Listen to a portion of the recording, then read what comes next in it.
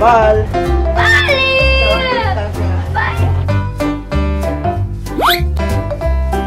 So kakatapos lang naming mag-lunch.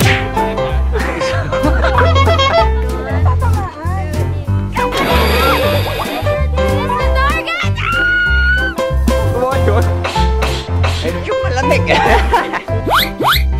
Because now is history.